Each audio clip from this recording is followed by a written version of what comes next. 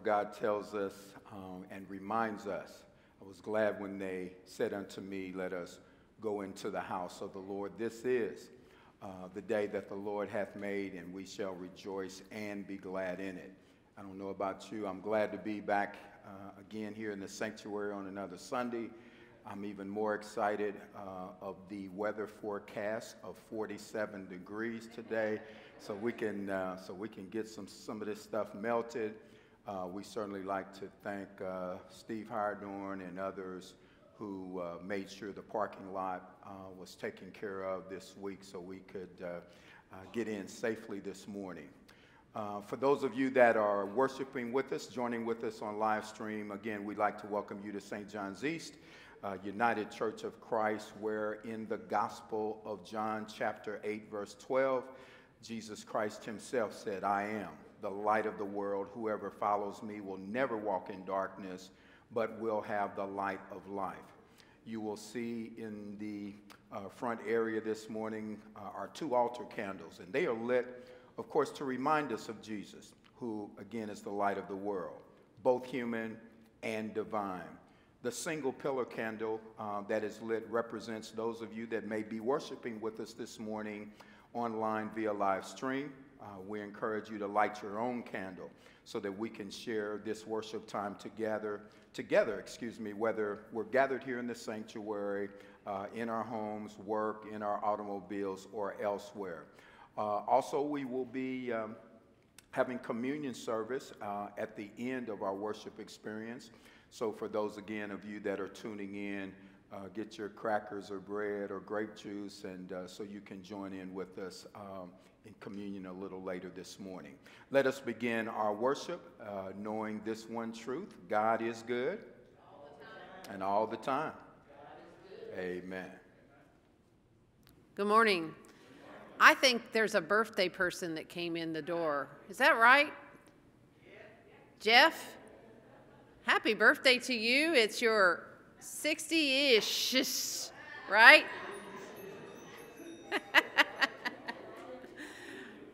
I, you know, that's one bad or good thing about Facebook is you see things, right? And so you have to share.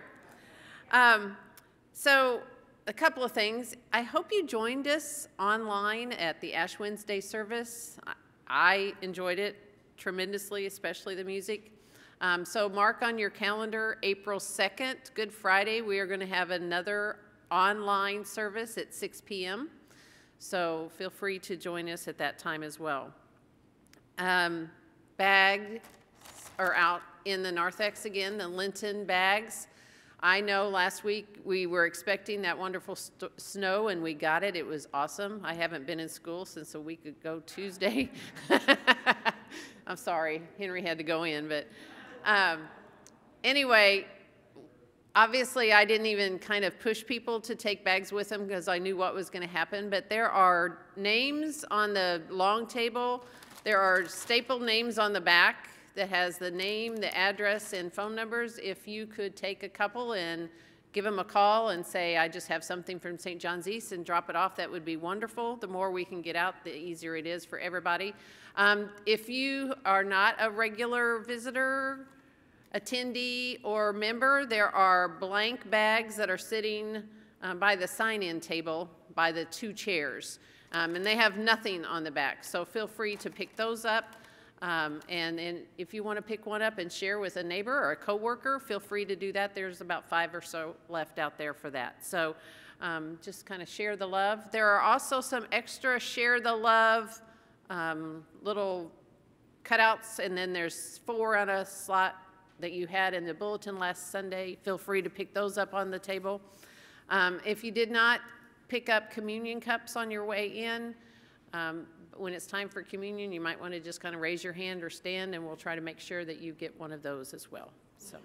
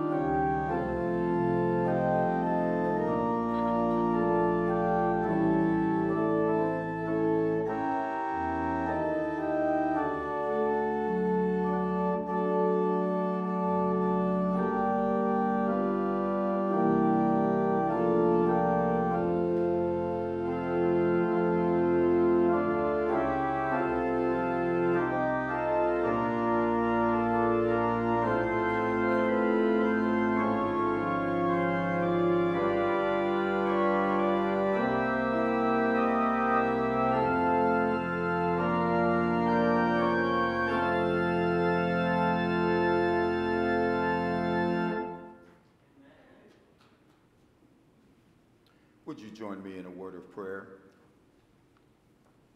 Our Father and our God, we are so grateful, so thankful, and appreciative on this another Sunday morning.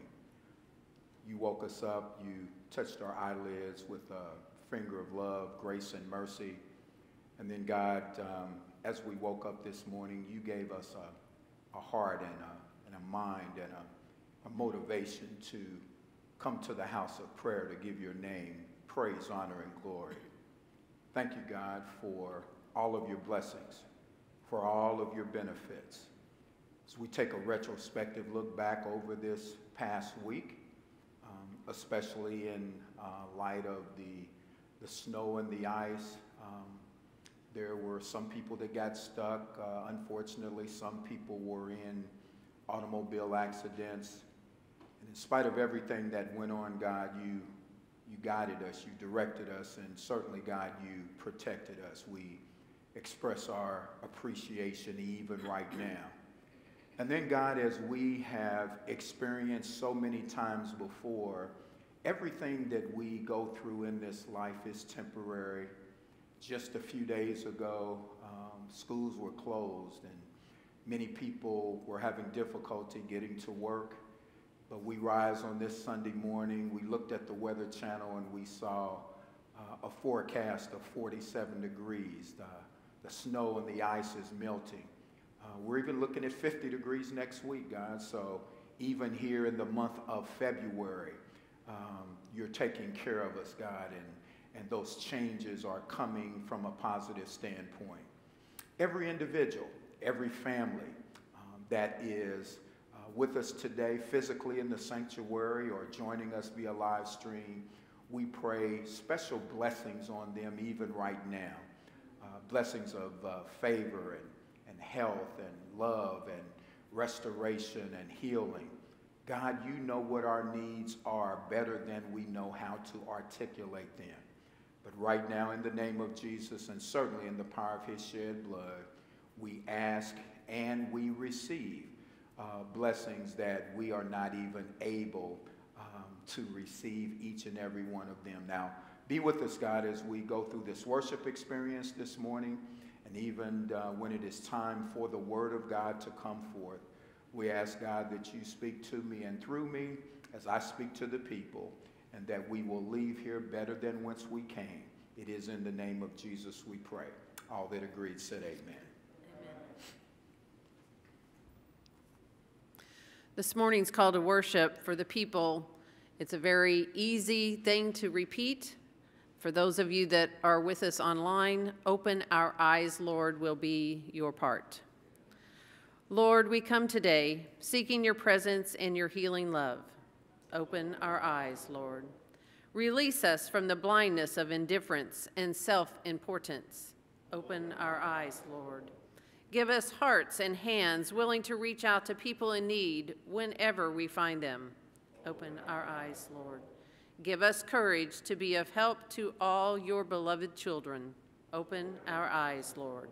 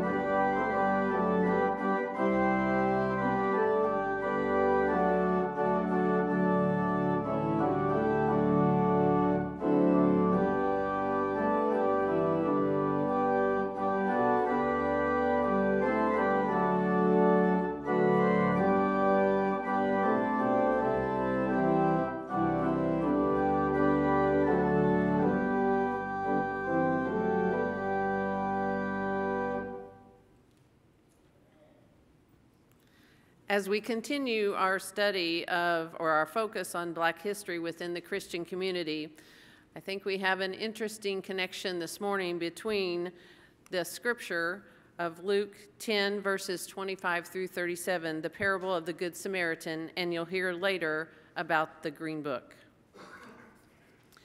And behold, a certain lawyer stood up and tested him, saying, Teacher, what shall I do to inherit eternal life? He said to him, what is written in the law? What is your reading of it? So he answered and said, You shall love the Lord your God with all your heart, with all your soul, with all your strength, and with all your mind, and your neighbor as yourself. And he said to him, You have answered rightly. Do this, and you will live. But he, but he, wanting to justify himself, said to Jesus, And who is my neighbor? Then Jesus answered and said, a certain man went down from Jerusalem to Jericho and fell among thieves, who stripped him of his clothing, wounded him, and departed, leaving him half dead. Now, by chance, a certain priest came down that road, and when he saw him, he passed by on the other side. Likewise, a Levite, when he arrived at the place, came and looked and passed by on the other side. But a certain Samaritan, as he journeyed, came where he was and when he saw him, he had compassion. So he went to him and bandaged his wounds, pouring on oil and wine, and he set him on his own animal, brought him to an inn, and took care of him. On the next day, when he departed, he took out two denarii, gave them to the innkeeper, and said to him, Take care of him, and whatever more you spend, when I come again, I will repay you. So which of these three do you think was neighbor to him who fell among the thieves? And he said, He who showed mercy on him. Then Jesus said to him, Go and do likewise. Thank you so much, Ginger, for sharing certainly one of my, uh, my favorite texts because it actually uh, puts ministry uh, into action uh, when you look at the parable of the Good Samaritan in modern day terms, there was a priest and a Levite. The priest would, if you will, recognize, uh, would be recognized today as a, as a preacher or a pastor. Um, the Levite, possibly a, uh, a deacon or a religious leader. Sadly, both of those individuals, religious, if you will, saw the plight of that individual that had, beat, had been beaten and robbed both passed on the other side. The Samaritan, who actually uh, did not actually associate or affiliate with the Jews, was the one that got off his beast, uh, that bound up his wounds. And then he went that extra step. Uh, he actually gave money uh, to the individual at the hotel, paid for that total stranger's fee, uh, and gave a little extra and said, on my way back, if he needs anything else, uh, think about how many of us would leave our credit card for a total stranger, hey, anything he needs.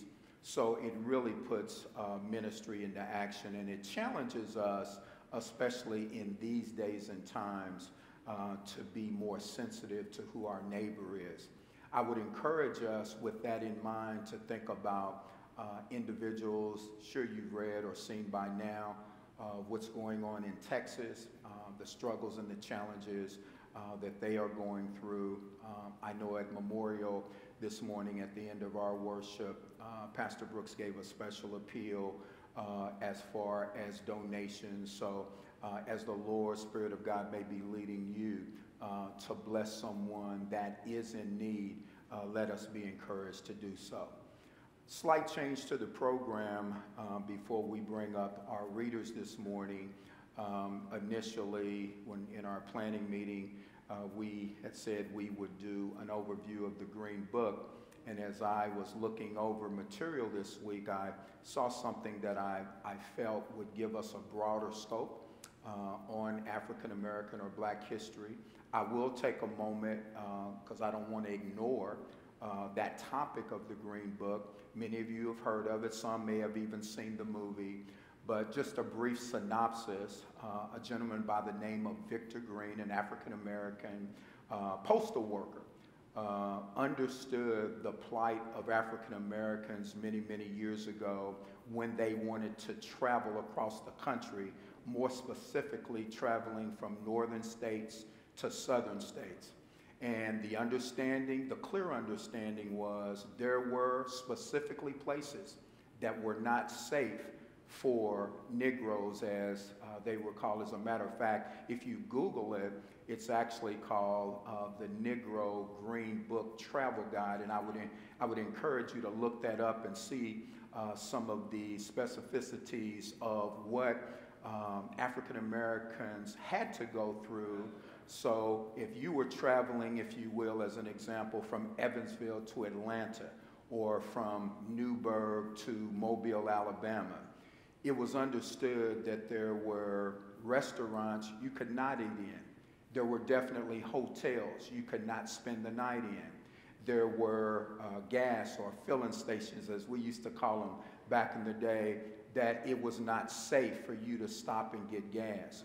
And so, what the Green Book did, it gave you specific locations as an alternative where it was safe.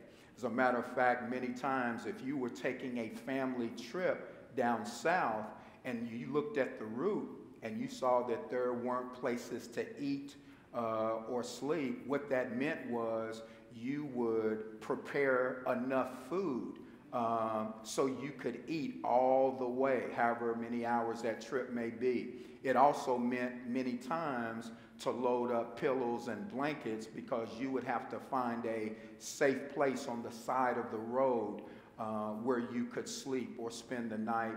That also meant even times that you would have to gas up here in Evansville and carry extra gas with you so you could fill up on your own, not to mention literally uh, relieving yourself or using the restrooms uh, on the side of the road. It really uh, shows, um, as the old saying goes, we've come a long way, we've got a long way to go. So, the Green Book, again, very interesting. Look into that more in detail at your own time. What I've asked our uh, uh, readers today to do is give us an overview. It's actually called uh, the Civil Rights Movement Timeline. It's going to start in 1948. It's going to take us all the way to 1968. So we're going to look at approximately a 20 year period and listen very closely to the dates, the times, the locations, and the specific situations and circumstances.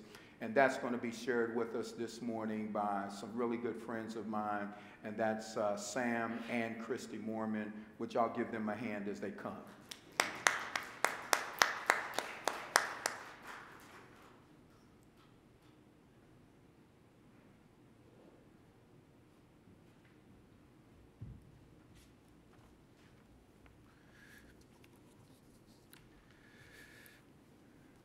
Good morning. Good Morning, Sam.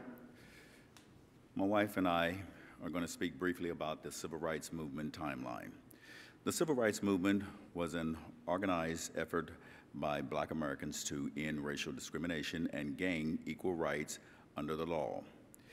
It began in the late 1940s and ended in the late 1960s. The movement was mostly nonviolent, and resulted in laws to protect every American's constitutional rights, regardless of color, race, sex, or national origin. On July the 26th of 1948, President Harry Truman issued Executive Order 9981 to end segregation in the armed services. On May 17th of 1954, Brown versus Board of Education, a consolidation of five cases into one is decided by the Supreme Court, effectively ending racial discrimination in public schools. Many schools, however, remained segregated. On August the 28th of 1955, Emmett Till, a 14-year-old from Chicago, is brutally murdered in Mississippi for allegedly flirting with a white woman. This murder, uh, oh, his murderers are acquitted, and the case brings international attention to the civil rights movement after Jet magazine published a photo of Till's beaten body at his open casket funeral. On December the 1st of 1955, Rosa Parks refused to give up her seat to a white man on a Montgomery, Alabama bus. Her defiant stance prompts a year-long Montgomery bus boycott. On January the 10th and 11th of 1957, 60 black pastors and civil rights leaders from several southern states, including Martin Luther King Jr., meet in Alabama, I'm sorry, Atlanta, Georgia, to coordinate nonviolent protest against racial discrimination and segregation. On September the 4th of 1957, nine black students known as the Little Rock Nine are blocked from integrating into Little Rock Central High School in Little Rock, Arkansas. President Dwight Eisenhower eventually sends troops to escort the students. However, they continue to be harassed. On September the 9th, 1957, Eisenhower signs in the Civil Rights Act of 1957 into law to help protect voters' rights. The law allows federal prosecution of those who suppress another's rights to vote.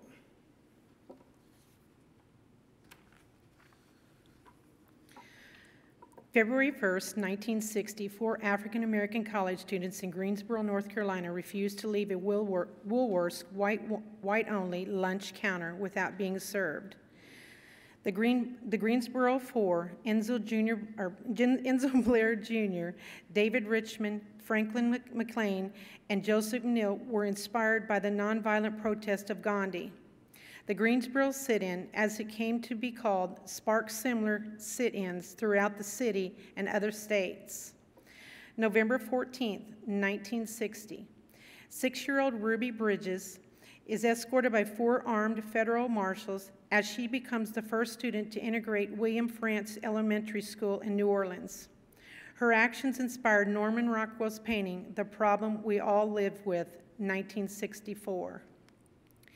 1961, throughout 1961, black and white activists known as Freedom Riders took bus trips through, through the American South to pro- protest segregated bus terminals and attempted to use whites only restrooms and lunch counters. The Freedom Riders were marked by horrific violence from white protesters. They drew international attention to their cause.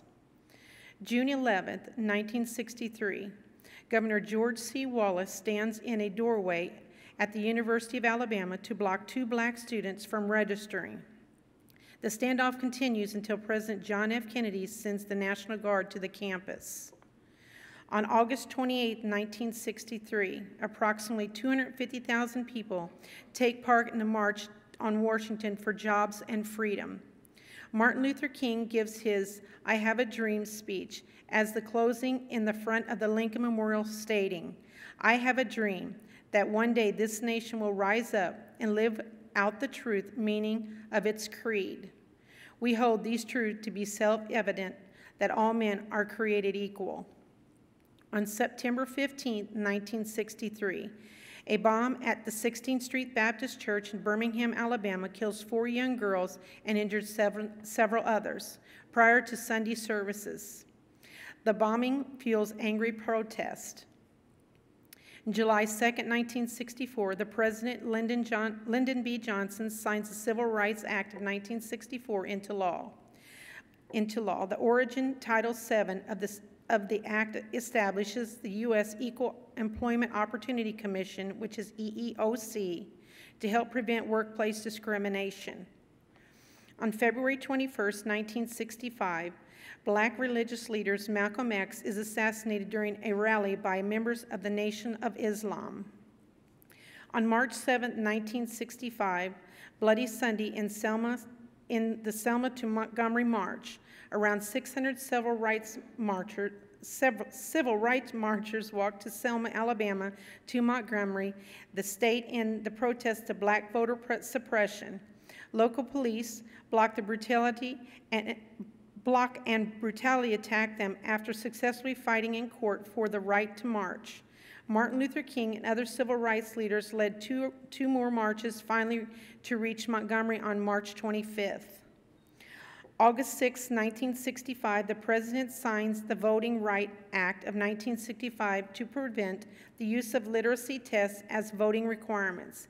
It is also federal examiners, and also for federal examiners to review voters' qualifications and federal observers to monitor polling places.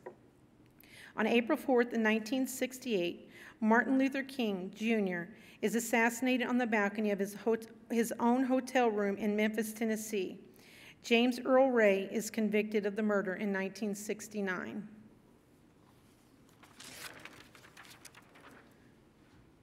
Thank you, Sam. Thank you, Christy. Great job. You're welcome. A lot of activities in that 20-year period between 1948 and 1968. I'd like to highlight one of the last ones that Christy read, March 7th, 1965, that march from Selma to Montgomery. Does anybody know approximately uh, how far it was from Selma to Montgomery? Anybody want to take a guess? Approximately 45 miles. To put that in perspective, and y'all seen the video, y'all seen the pictures, King and arm in arm, 600 marchers. Can you imagine having to walk from Evansville to Owensboro in the hot sun? And if y'all notice Martin Luther King, he didn't wear tennis shoes and Nikes. Martin Luther King wore a suit and a tie, dress shoes, 45 mile march, not to mention water hoses, dogs being attacked, et cetera, et cetera. So we remind ourselves of the commitment and the sacrifices uh, that many led that, uh, of course, have given us our rights today. Thanks again, Christy, Sam, uh, great job. Um, at this time, we would like to acknowledge our prayer concerns for the people and certainly any praise reports that anyone has. Um, coming from our booklet, continued prayers for Andy and Lisa um, as they go through cancer treatments. Uh, praise for uh, praise report for a successful surgery for Brother Bob Hess, and prayers for uh, rest before he begins to go through radiation. Uh, prayers for the family of Eric, and I'm not sure of that last name. Gurrier, thank you, uh, in the passing of their son. So we certainly want to keep that family lifted. Um, Brother Daryl Wiggins, who has been with us in the past out of Chicago, uh, we lifted him up last week in the passing of his mom. Uh, right now, because of his recent surgery, he's still recovering, but we've been texting one another. So let's keep Daryl uh, lifted up in prayer.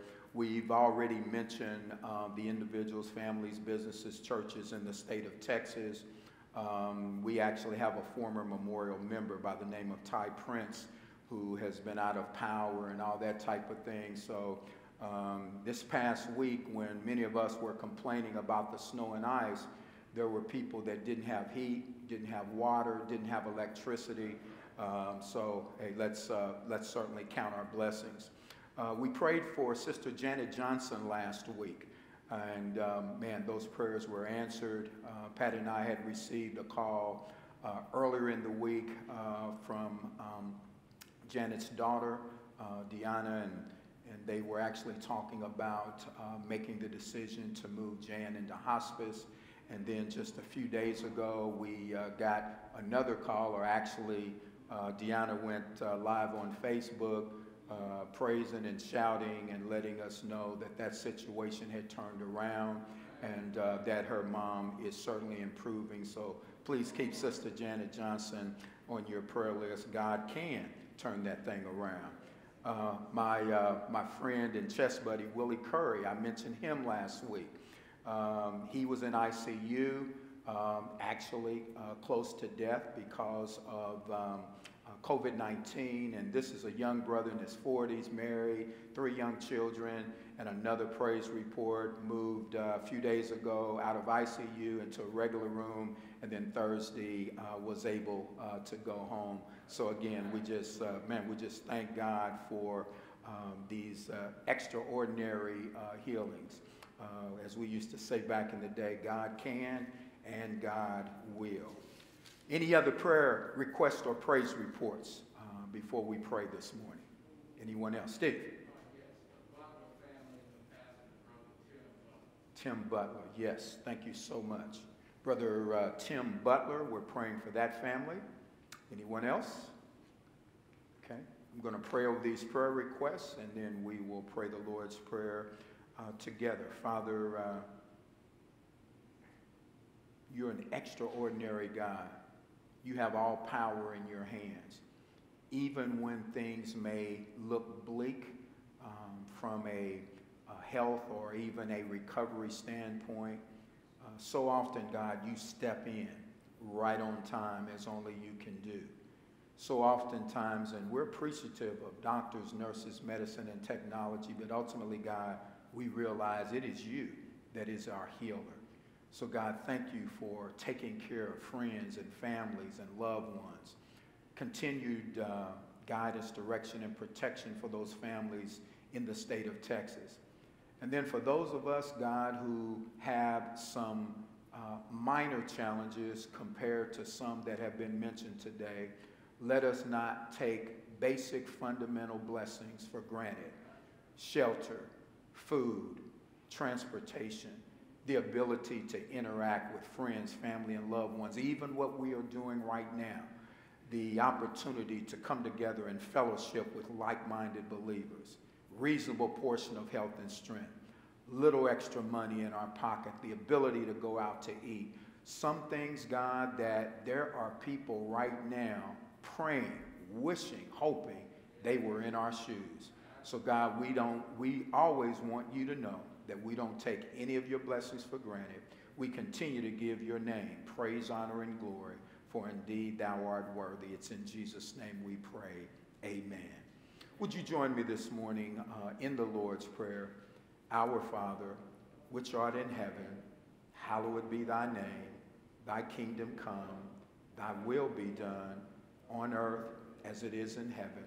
Give us this day our daily bread and forgive us of our debts as we forgive our debtors. Lead us not into temptation, but deliver us from evil. For thine is the kingdom, the power, and the glory forever.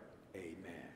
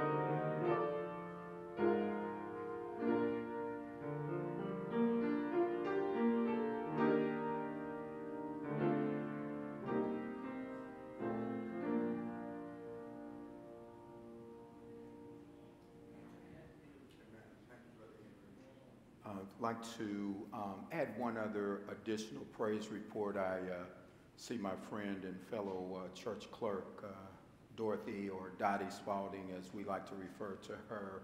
Uh, just a praise report um, on her mother, Alva Graves, who had been hospitalized recently. Uh, she has been released and um, is back in the nursing home. So keep that name, Alva Graves, on your prayer list as uh, God continues to bless her with good health.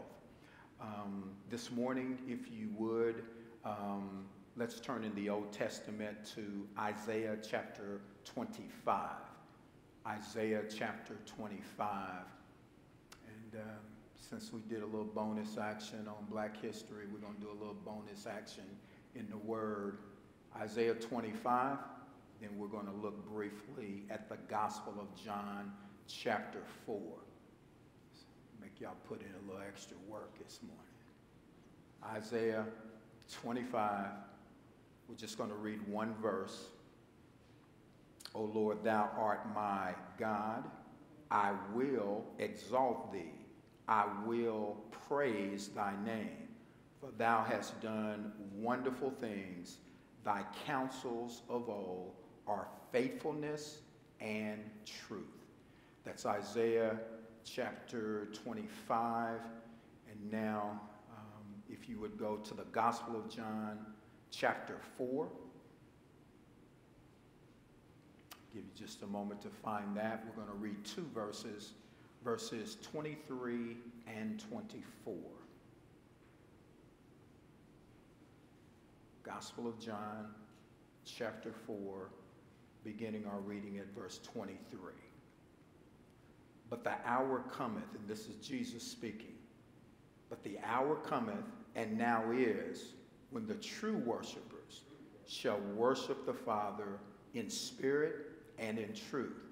For the Father seeketh such to worship him.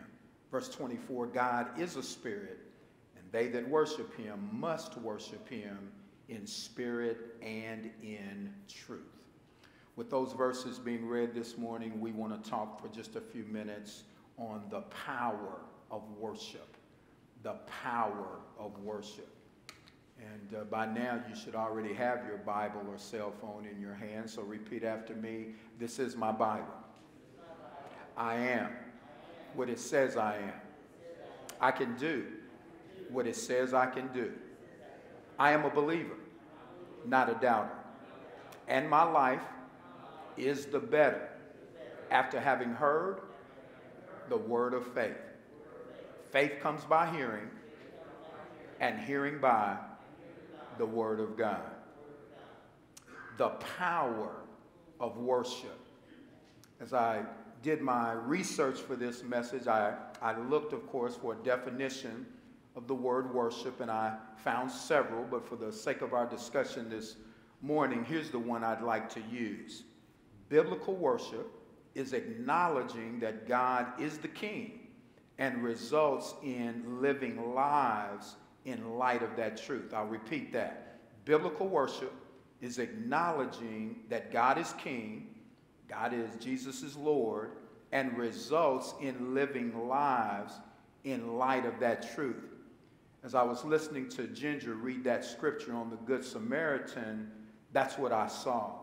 An individual that didn't just claim to be religious or claim to be a Christian or claim to go to church, but he put in action what he really believed, which when you actually looked at that text, he was exhibiting love to someone that was in need. I believe certainly you and I should be doing the same. So, one of the questions I'd like to ask everyone this morning to consider today is Is God your King? Is Jesus truly the Lord of your life? And if the answer to either or both of those questions is yes, then does your life and lifestyle reflect that? Many years ago in a Bible study that I attended, the question was asked Steve, you'll remember this. If you were put on trial for being a Christian, would there be enough evidence to convict you? If you were put on trial tomorrow, Monday, you're in court trial. Question was, you're a Christian. Would there be enough evidence? And may I be even more specific? Would there be enough tangible biblical evidence to convict you? And, and don't look for the easy way out. Yes, I go to church every Sunday. No, that's not enough to convict you of being a Christian. Just as many of y'all have heard, um, you come to church, which is a good thing, no more makes you a Christian than you standing in a garage makes you a car. There needs to be other specific things that would convict us this morning. And one other thing to think about before we dig deeper into this text it's a beautiful thing to worship corporally, like we are doing here this morning, and for those of us that are worshiping with us via live stream. But I, I also believe personal worship is necessary and, quite frankly, should come prior to group or corporate worship. Man, I got to tell y'all, I, I enjoy uh, and appreciate wor- worshiping with like minded believers. It, it's nice to come in the lobby and hear people saying good morning and welcome. Uh, I called Joan Stoltz uh, yesterday because I hadn't seen her for the past three weeks. As y'all know, Joan, Joan's a regular, and uh, Joan is friendly and she's outgoing and she makes you feel welcome in the church. So there's certain people, if they're not around, you miss them. And so uh, I was encouraged. In fact, it was funny uh, when I asked for Joan. Joan said, "Who is this calling?" And I said, uh, "I said this is Brother John over." At... She said, "Oh, John, I didn't, I didn't recognize your voice. Thought I was a bill collector." So no, no, just, just kidding. But the point is, it's good to fellowship with like minded believers, but don't get it twisted. Before I come to church every Sunday morning, I've already prayed. I've already praised God for his blessings and his benefit. I've already worshiped before I get to the sanctuary. So let's take a closer look at our verses for today, uh, starting there in Isaiah. O Lord, thou art my God. I will exalt thee. I will praise thy name. Thou hast done wonderful things. Thy counsels are of old are what? Faithfulness and truth. And if you've been in relationship with God for any period of time, and many of y'all looking at me have been in relationship with God for years and even decades, you know that God is faithful. God is true to his word. We can learn something from the prophet Isaiah. He honored and he praised God because he realizes that God always completes his plans as promised. That's true, first of all, from a generic or an overall standpoint. As we read, study, continue to get a clearer, better understanding of the Bible, we find out that God is a keeper of his promises. He gives us various promises in a variety of categories uh, salvation, help and guidance, faithfulness, wisdom, peace, love, joy, riches in heaven, strength, and power. Okay, so that's overall from a generic standpoint, but check this out. On the personal or individual tip, God also fulfills his promises to you and to me. Right now, just for a moment, I want you to think of the prayers that he's already answered and continuing to answer for you and praise him for his goodness and his faithfulness. We have a reason to praise and to worship him. So, next, let's look at the New Testament, fourth chapter of the Gospel of John. But the hour cometh, now is, when the true worshipers shall worship the Father in spirit and in truth, for the Father seeketh such to worship him. The NIV says, For they are the kind of worshipers that the Father seeks. Verse 24 reads, God is a spirit. They that worship him must worship him in spirit and in truth. The overall lesson here, of course, is that the worship of God is not to be confined to a single geographical location or necessarily regulated by the temporary provisions of Old Testament law. With the coming of Jesus Christ, the separation from the Jew and the Gentile no longer relevant, nor the centrality of the temple in worship. With the coming of Jesus Christ, all of God's children have now gained equal access to God through him. Even to my Catholic friends who uh, many times say you have to go through a priest or a pope or whatever. That's not what the Bible teaches. The Bible says we have direct access. So worship becomes a matter of the heart, not external actions and directed by truth rather than ceremony. Y'all know we got to be careful about traditions and, and rituals and, and ceremonies. In the Old Testament, in Deuteronomy chapter 6, verse 4, Moses sets down for the Israelites how they are to love their God. You shall love the Lord thy God. How?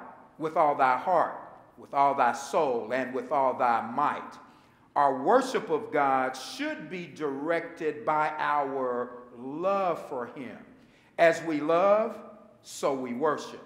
Because the idea of might in the Hebrew indicates totality, Jesus expanded this expression to mind and strength. To worship God in spirit and in truth necessarily involves loving Him with your heart, soul, mind, and strength. True worship must be in spirit, that is, engaging the whole heart. Unless there is a real passion for God, there is no worship in spirit. At the same time, worship must be in truth, that is, properly informed. Unless we have knowledge of the God we worship, there is no worship in truth. So both are necessary for God honoring worship. Spirit without truth leads to a shallow, overly emotional experience that could even be compared to a, a high on alcohol or a high on drugs. And you know what happens once the high comes down, it's all over with. So, for many people in the church today, as soon as the emotion is over, as soon as the fervor cools, the worship ends. Truth without spirit can result in a dry, passionless encounter that can lead to a form of joyless legalism. The best combination of both aspects of worship results in a joyous appreciation of God informed by Scripture. So the more we know about God, the more we appreciate Him. The more we appreciate, the deeper our worship. The deeper our worship, the more God is glorified. So, as we look a little deeper into this topic of the power of worship this morning, let us consider number one, that worship requires both sacrifice and submission. I won't ask you to turn to it, but many of y'all are familiar in the Old Testament in Genesis chapter 22, the story of Abraham and Isaac. And when you look at the background of that text, all of those years, Abraham and his wife prayed for a son. God finally, even in their old age, blesses them, answers their prayers, and gives them Isaac.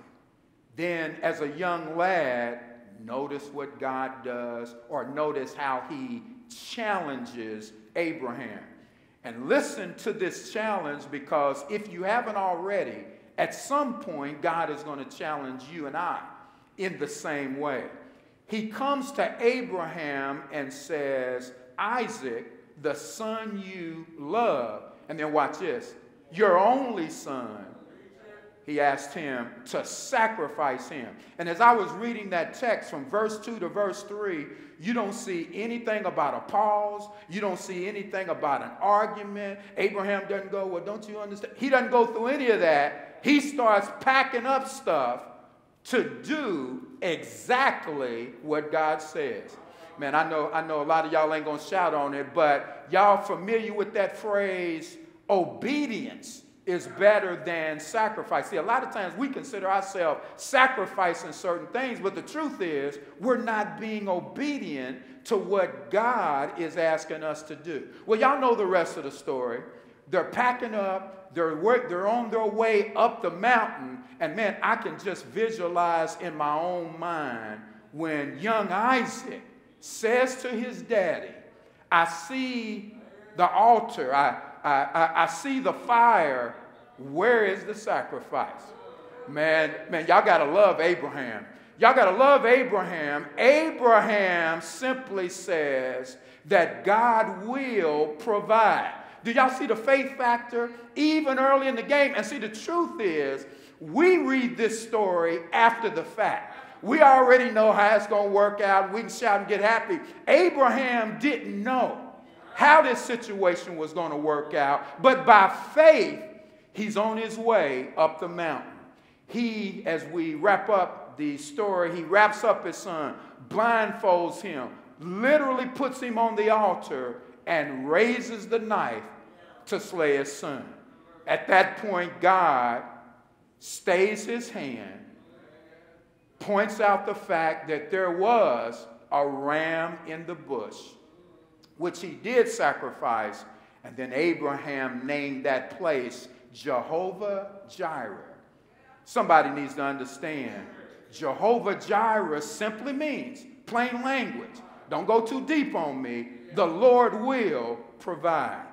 That brings me to a question as we worship and praise and serve God, active in ministry. What are you willing to sacrifice?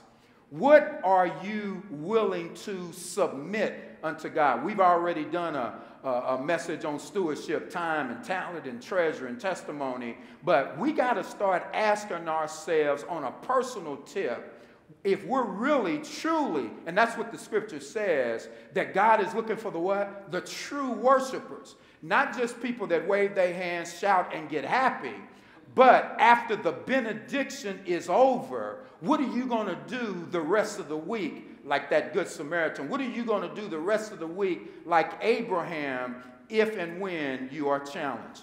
So understand that um, worship is, of course, a place of provision.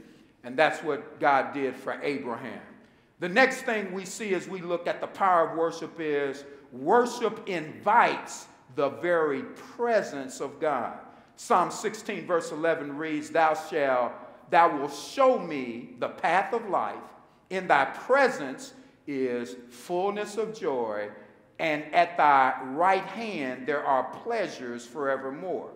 Um, now, when you're not sure which way to go, which way to turn, what to do about a particular situation or circumstance, uh, have you ever found yourself uh, at sometimes what uh, you and I would call a fork in the road, and you don't know if you should go left or you don't know if you should go right?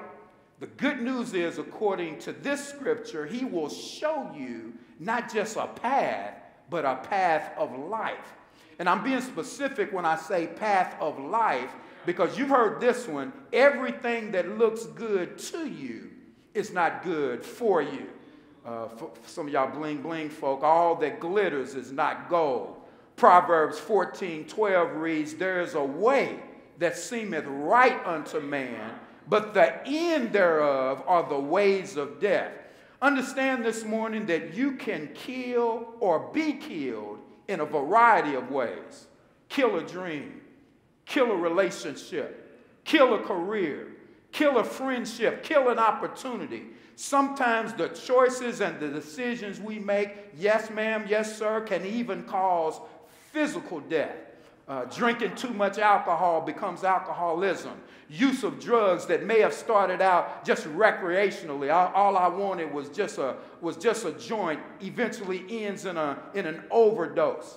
Some of y'all sport fans out there uh, might remember the name Len Bias had just graduated from college, signed a contract with the Boston Celtics, already had his shoe contract done, and two days after he signs his professional contract, he and a few friends decided that they would get together and have a little, shall we say, celebration party that included drugs and Lenny Bias OD the same day. Never spent any of the money from the shoe contract. Never played one game uh, for Red Auerbach, Larry Bird, and the Celtics, all because of a life changing decision. Uh, sometimes in involvement uh, with multiple sex partners ends up uh, meaning that you contract HIV and AIDS. I don't have to tell y'all the story about Magic Johnson. Y'all know how it went, top of his game. multiple NBA championships. Had a, had a nice uh, girlfriend, getting ready to marry or whatever, but uh, was messing around at the Playboy Mansion and all that other stuff, and all of a sudden, HIV and AIDS. Now, the good news for Magic is he had the money to uh, get the nice uh, treatments and medications and all of that. But think about the thousands of others that weren't in Magic Johnson's position, and the end thereof was death. But the worst possible death is eternal death, separation from God. When a person physically dies and doesn't have a personal relationship with Jesus Christ. As we keep reading in that text, we see in thy presence is fullness of joy. And there is a distinct difference, my brothers and sisters, between joy and happiness. Happiness is experienced based on outside influences, based on what's happening around me. I'm happy because I have family and friends. I'm, I'm happy because I got a good job. I'm happy because I have a great career. I'm happy because I have material things house, cars, clothes, money in the bank. I can afford to go on nice vacations. I get recognition from the community for my contributions. That makes me happy. But there's another reality. Everything I just listed, good list, it's all temporary. Uh-huh. There will come a time for each and every one of us that all of that stuff that I just mentioned, all of that stuff that makes us so happy will be no more. That's why, y'all know what we need? We need something down on the inside. That's the joy that the text is talking about. And that's one of the intangibles that knowing God and worshiping God can and will do for us. It gives us inner joy, inner peace, inner satisfaction, even though everything around me may be in chaos. Everything may be crumbling around me. We can still have joy. I can still hear the song, This joy I have. The world didn't give it to me, and the world can't take it away. The rest of that scripture says, At thy right hand are pleasures forevermore. Knowing God and worshiping God positions us to realize that we can and will experience, yes, many of earth's temporary pleasures. Jesus Christ himself said, I came that you might have life and have it more abundantly. We can also have the promise and the eternal expectation that when life as we know it here on planet Earth is all over, that we have a home in glory, a mansion in the heavens not made by hands. We have a reason to worship Him. Thirdly, y'all know what worship will do? We're talking about the power of worship. Worship shifts your focus. Uh, if you look at uh, Hebrews chapter 11, verse 6, the B clause, it says, For he that cometh to God must believe that he is, and that he is a rewarder of them that diligently seek him.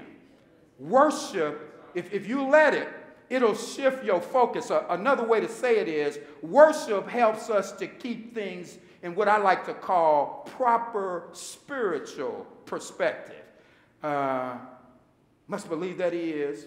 He's a rewarder of them that diligently seek Him. So here's a question How many people believe that God is who He says He is? Y'all, y'all know I did a little research. Y'all, y'all know I Googled and, and, and looked at some numbers. Here's, here's what I found out. In 2009, according to this particular study, approximately 2% of the American population said that they didn't even believe in the existence of God. 10 years later, 2019, guess what? That 2% doubled to 4%. That means over 13 million people in these United States of America says that they don't believe in the existence of God. So that's just the atheists. I'm not even talking about the agnostics. So here we go. For he that cometh to God must believe that he is. Next, the text says that he is a rewarder of them that diligently seek him. To me, that can mean a number of things, such as accepting Christ as your personal Savior, making a commitment to grow in grace, knowledge, and stature, which would include regular church attendance, involvement in ministry, being a good steward, time, talent, treasure, living a lifestyle that's pleasing to God, and how we, you and I, the Samaritan, treat our fellow man. Well, I don't know about you, but when I look around at today's society, I see a very small percentage of the things I just mentioned. Things that reflect that people are diligently seeking to worship, praise, follow, obey, and please God. I observe them doing a whole lot of other things because they believe, they feel, and or believe they will be rewarded for their efforts and their actions. Things that will reward them financially, career wise, personal relationships, material uh, rewards, political affiliations, groups, clubs, fraternities and sororities, sporting events, NFL and NBA championships, scoring titles, MVPs, the list goes on and on. But how many of those same individuals believe that God will reward them both temporal as well and give them temporal as well as eternal rewards? So when we truly worship God, we don't want to uh, overlook or eliminate many of the worldly goals, aspirations that we have. That, those are good things. But we do need to balance our perspective and make sure we are also committing a certain amount of our time, our talent, our treasure, our efforts, and our activities in kingdom building. The things that will not only reward us in this life, but also will reward us in the life to come. The fourth area is your worship is also your warfare. And I hadn't really thought about this one until I really started digging. Uh, you've heard me uh, discuss in previous messages from this pulpit about the concept of spiritual warfare. Of course, Ephesians 6:12, we wrestle not against flesh and blood, but against principalities, against powers, against the rulers of darkness of this world, against spiritual wickedness in high places. Many of y'all looking at me this morning, you, you experience this. If you're around the church, even as a child, you are familiar with the biblical account of Joshua and the walls of Jericho. Well, guess what? Israel won that battle of Jericho not with weapons, but by worship. So let, so let me set the scene for us. The nation of Israel, they're at the end of their Exodus wanderings. They've been in the wilderness over 40 years. The adult generation, and y'all, I wish I had time to really dig into this part. The adult generation that initially fled Egypt has perished after 40 years in the wilderness. And there's a, there's a whole nother sermon right there. Being hard headed, being stiff necked, being disobedient, God allowed them to make a trip that should have taken three to four weeks. It took four decades, but there was a method to God's madness, if you will. He let them old heads, them stiff necked, disobedient adults die out. They, they weren't going to make it to the promised land. So now their children and their grandchildren are ready to take the land and the promise that was given to their forefathers. God Himself threw open the door to the promised land, holding back the flood waters of the Jordan River and leading the people across on dry land. See, a lot of people shout about uh, God opening up the Red Sea. You need to understand there's been other openings right here with in the book of uh, in the book of Exodus uh, where he splits the Jordan River. So now they're ready. Only one thing is standing in their way Jericho. When God gives Joshua his marching orders, the Lord leaves no doubt that he is the one giving them the city. Jericho and all the land belong to the Lord. He and he alone has the ability to grant it to his people. So God's instructions to Joshua don't have anything to do with besieging or attacking the city. God tells them they will take the city through worship. God tells Joshua to gather the people, march around the city once each day for seven days. The priests are to lead the procession with the ark, a visible symbol of the Lord's presence with them. Seven priests, seven trumpets are to go before the ark on the seventh day. they are to march around the city seven times. Then the priests will blow the trumpets, the people will shout, and the walls will fall. We used to sing this song as children. Joshua fought the battle of Jericho, Jericho, Jericho. Joshua fought the battle of Jericho, and the walls came tumbling down. That's not warfare, ladies and gentlemen. That's not warfare, brothers and sisters. That's worship. So here's the bottom line uh, both of these passages of Scripture. The warfare, whether it's on the inside or the outside, is defeated by the way of worship. And that's not the only time in Scripture that we see worship uh, active in warfare. In Second Chronicles chapter 20, it tells us how King Jehoshaphat led the people of Judah into battle with singing. As the people worshiped God, their enemies started fighting among themselves and destroyed one another. Acts 19, some of y'all remember this one, how Paul and Silas were thrown in jail in Philippi. And that night, Paul and Silas, all wrapped up, tied up in, in stocks and bonds, y'all know what they started doing?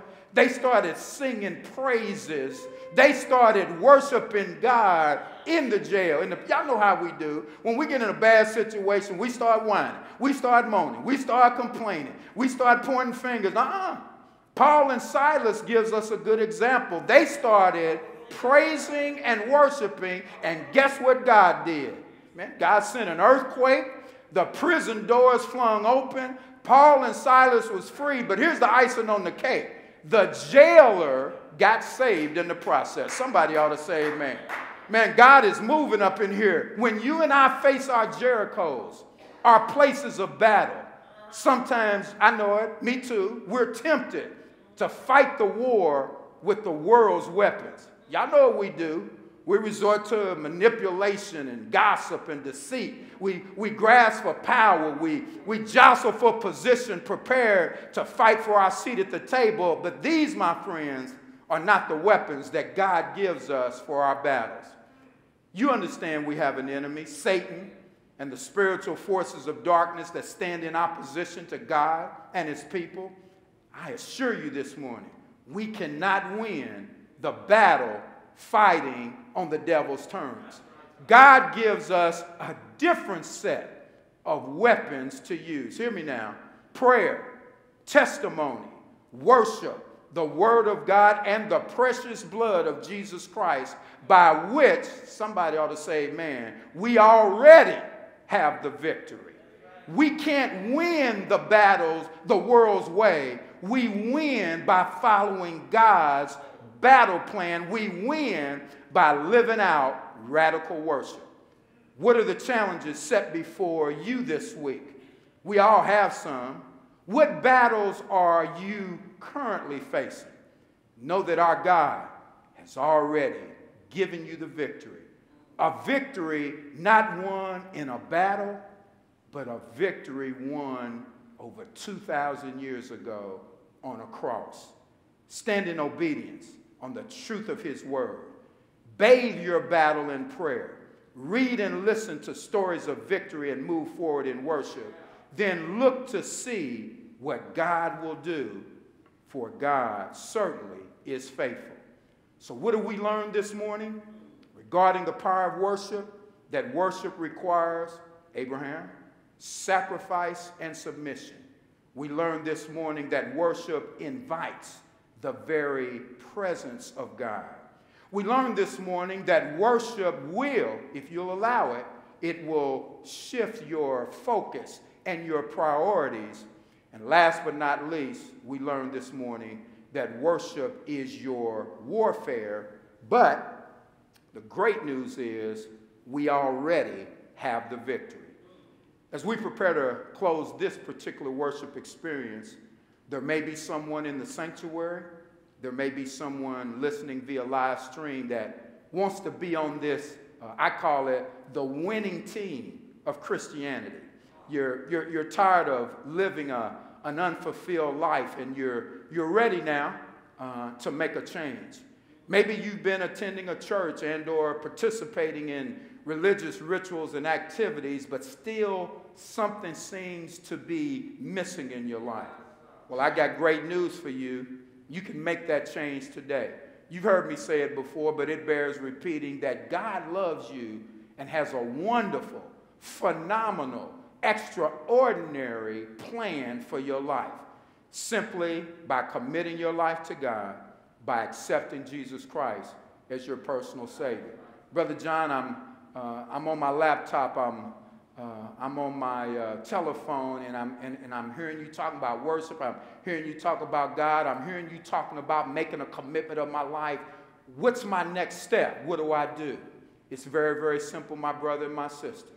Tell God that you're sorry for your sins. That means acknowledging the fact that you are a sinner. Y'all know what the scripture says all have sinned, come short of the glory of God but it's a matter of admitting, it's a matter of acknowledging, and then saying to God, based on how your Holy Spirit is leading, guiding, directing, and even convicting me right now, I realize that I need you in my life. I need you as my Savior. I'm sorry for my sins. I'm willing to commit my life to you even right now.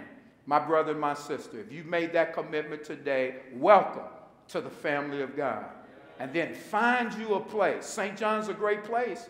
We got some nice people here. We got some good Samaritans up in here. We got some really friendly folk, both black and white, that you can fellowship with. But St. John's not the only church in town. There's plenty of great churches, but find you a place where you can rub shoulders with, not just touch elbows with, but that you can interact, dialogue, fellowship, work, serve, and minister with, uh, with other like minded believers. And then, as my pastor says, God will assist you to grow in grace, knowledge, and stature. Can we uh, give God a hand clap of praise for the Word of God? As we um, prepare um, for communion, this morning. Does everyone uh, have a cup? What I'm going to do first is pray over our offering, uh, thanking God for resources. And as we uh, look to give back a portion, we will, uh, of course, do our uh, communion, and then uh, I'll come back and do the benediction. Father God, we're grateful for the Word of God. We're grateful for the fact that you reminded us that there is power in worship. Uh, when we cannot physically or mentally or emotionally fight certain battles in our lives, we'll set aside the time, if we'll make the time, make you a priority, worship and praise you, you'll open those doors that seem to be closed. You will make the impossible possible. So, God, we give your name praise, honor, and glory. And at this particular time, God, we thank you for resources. We thank you for income. We thank you for jobs and careers. We thank you for retirement and investments and social security and disability income. However, God, you have blessed us with, we simply pause now to bring back and give you a portion of what you have already blessed us with. Bless sanctify, multiply these gifts as they go for the ongoing as well as the upbuilding of thy kingdom. In Jesus' name, amen.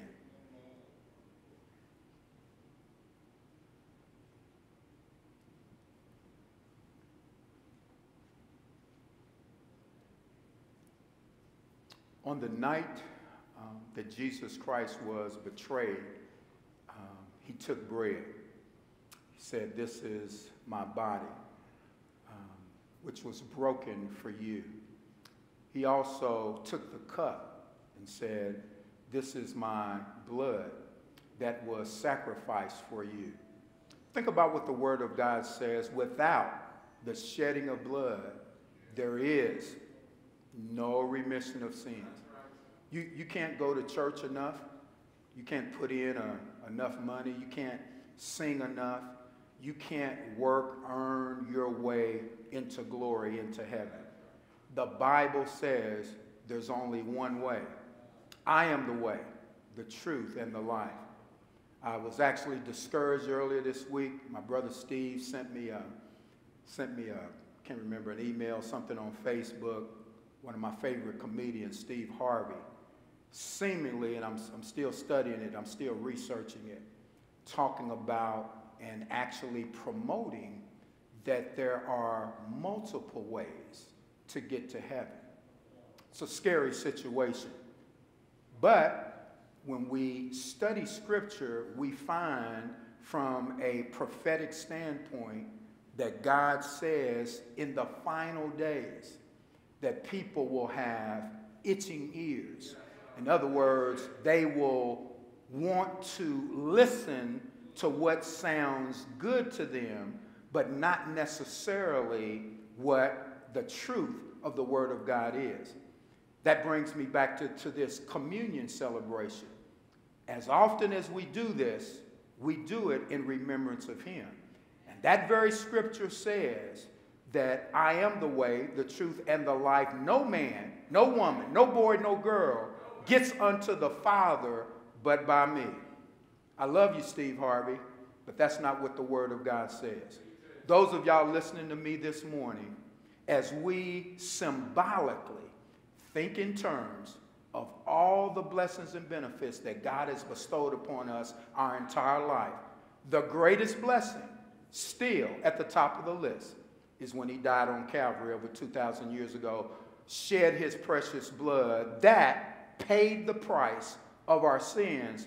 And watch this triple threat on the sin all your sins in the past, all the sins that you're committing in the present right now, and for those of y'all, even though you won't admit it, the sins you are going to commit in the future, the shed blood of Jesus Christ pays. How does it go? Y'all, know when it get when they stamp it, paid in full. Ain't you glad? If you're not, you ought to be glad that Jesus Christ died and paid the price for our sins. Right now, if you will take your bread, it looks cute, looks nice, it's a nice little circle, but don't ever forget Jesus Christ's body was beaten beyond recognition. By his stripes, we are healed. Let us partake. Then, when we think about the blood, the blood of Jesus Christ. My brother likes to sing his song, I know it was the blood.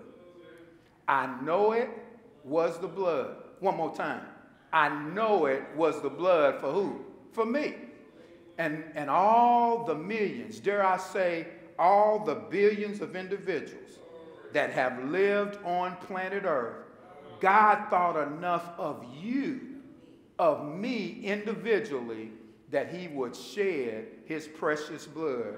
I know it was the blood for me. Let us partake.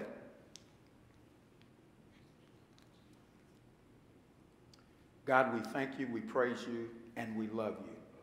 You've been good, kind, gracious, patient, long suffering, understanding, forgiving toward each and every one of us.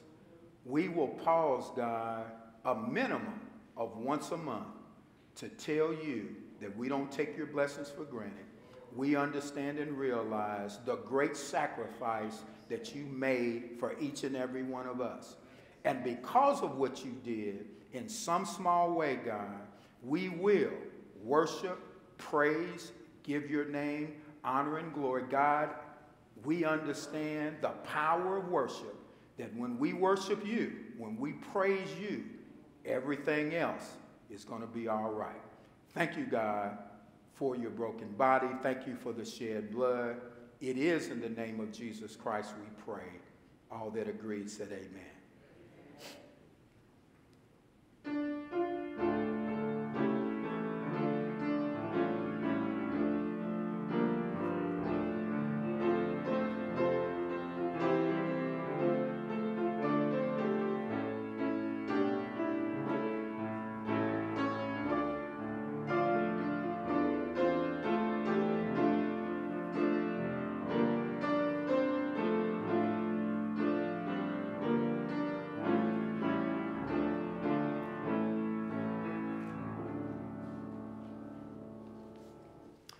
I certainly want Jesus to walk with me. Thank you so much, Brother Henry. Thank y'all for uh, coming out today.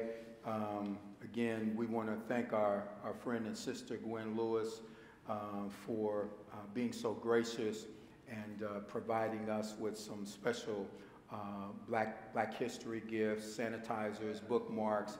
Uh, very nice, very appropriate, and we so appreciate those extra efforts. Um, thank y'all again for coming out today. We look forward to a warm and uh, more comfortable Sunday next week. Uh, may we stand.